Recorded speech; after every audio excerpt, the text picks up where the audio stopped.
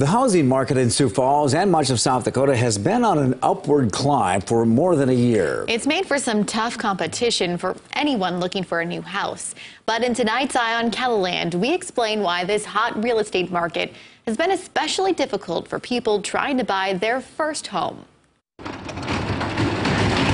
This may look like a typical family going through the grueling task of moving.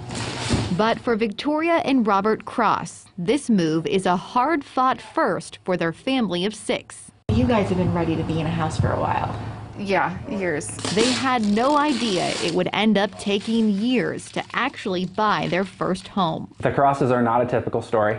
Uh, I met them three years ago, almost to the day in a first-time homebuyer class. During that class, they learned they had some work to do before they could get through the first step in buying a home. When I have somebody come to me that is ready or thinks they're ready to look for that first home, I ask them for the pre-approval letter. The Cross family learned they needed to build up their credit before they could get approved for their first mortgage. We were keeping an eye on our credit, and we finally hit that point where it hit 580, and then we got the pre-approval letter, and we went from there basically. Getting that pre approval took almost two years of building up their credit.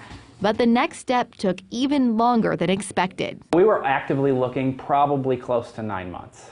Nice three season porch. We first introduced you to the Crosses this past July as they were putting in their 12th offer on a house. As soon as we put an offer in, a lot of times we're outbid. There used to be a time where when you saw what the list price was, that was where you started and probably what you paid. Now, whatever the price is today, that's really the starting point, and it becomes a bidding war if the home is in good shape. That's especially true for any newly listed home that's 300,000 or less. It is super competitive when a quote unquote affordable house hits the market. We've we're now in a period where if we list the house on a Wednesday, chances are the agent notes say we need your offer by five o'clock on Monday and it just starts the rat race. Hegg realtor Justin Gary says when these newly listed affordable homes hit the market, it's a revolving door of dozens of hopeful homeowners lined up to get a look inside. One house we walked into, there were already 14 other realtor cards on the table.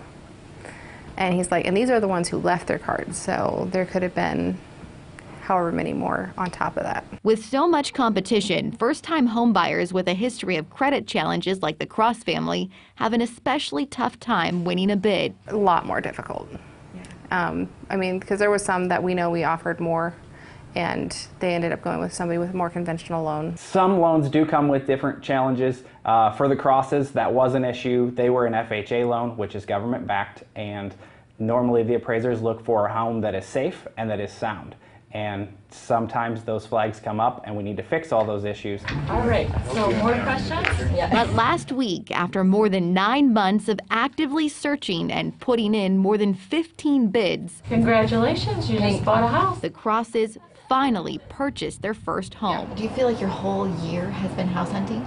It almost, yeah, it really does. I was actually almost to a point where I was like, okay, one more, you know, and if we don't get approved, then I think we're going to take a year off because it was just getting to be more stressful than I was really ready for. As this hot market continues, realtors know that stress and the increased home prices. Uh, year over year, we've seen a 21.5% increase in our MLS. Are causing some would-be first-time homeowners to pause. I think first-time homebuyers are holding a little bit. You know, you do see the occupancy rates for apartments around town at above 99%, so something has to give. For the Cross family, that tipping point came out of a need for more space. With a family of six and one bathroom is not recommended. It's what makes all of the struggles of the past year worth it. Got hands, that's right. now that they finally have a home of their own. It was nice to know that it's done. We can move. Everyone's got their place here now. Uh, congratulations on your new home. Now, the Cross family has this advice for anyone looking to buy their first home. Have some patience and make sure you find a realtor and a banker you trust to help guide you through every step of the highly competitive housing market out there. It doesn't seem to be changing anytime soon. Ah, the joys of signing all those papers all at closing. it takes so long. it takes a long time.